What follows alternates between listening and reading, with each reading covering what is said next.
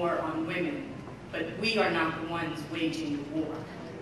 And what happens, this is verbal engineering. And so I get to see, I have the privilege on a daily basis, being the director of a pregnancy medical center, to see the wreckage of humanity that walks in my door because they have bit the apple. They have believed the lie that this government, that all of the politics, and that even some churches tell them that it's okay to go use contraceptions. It's okay to use abortion as a backup birth control.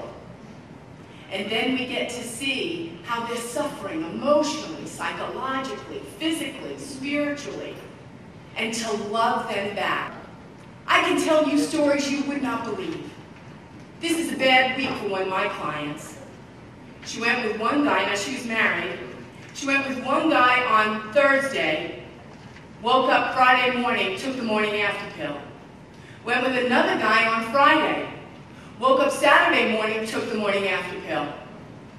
Went with another guy the following night, and then took herself to her Tuscaloosa abortion clinic because she wanted to make sure she wasn't pregnant.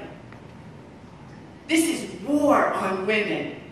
We are telling them, and it's available. And so they can go to the pharmacy and get it. This is the war on women. We're not loving them, but we as the church militant, you and me, from coast to coast, get to say, come here, come and get healed, come and get loved. We're going to tell you the truth. We're going to repair the brokenness inside of you. There is a war on women, but we're not waging it. It's coming from the pit of did in the book of Genesis when he told the woman when she bit the apple, he said, you will not die. It's the same lie. It's the same war. And it's not just on women, it's on humanity. It's on every aborted baby boy and baby girl and every woman and every man that has impregnated her.